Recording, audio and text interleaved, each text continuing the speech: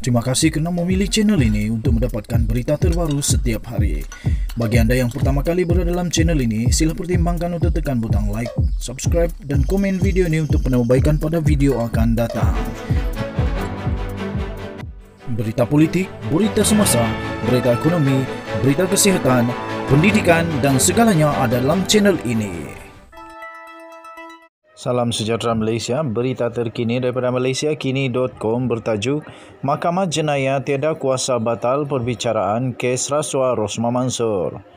Berita penuh, Mahkamah Jenayah tiada mempunyai kuasa bidang kuasa untuk mengeluarkan perintah pengisytiharan yang telah dimohon oleh Datin Seri Rosma Mansur supaya membatalkan perbicaraan kes rasuahnya berkaitan projek hybrid solar yang bernilai 1.25 bilion. Mahkamah Rayuan diberitahu pada hari ini.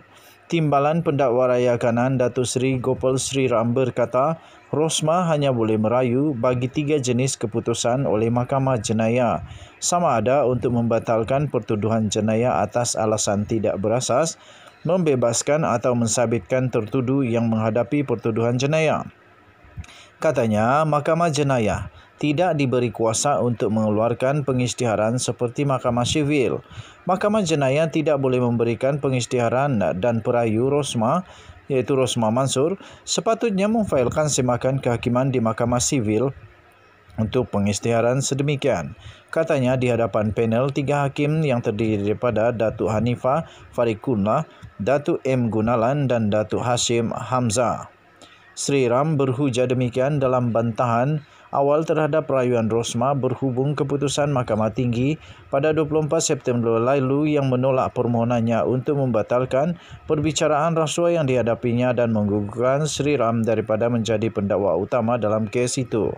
Peguam Datuk Janggit Jagjit Singh yang mewakili Rosma berkata isu sama ada mahkamah jenayah boleh mendengar perintah pengisytiharan dibangkitkan responden iaitu pendakwa raya buat pertama kali dalam dan Sri Ram menjawab soalan itu isu itu boleh dikemukakan pada bila-bila masa.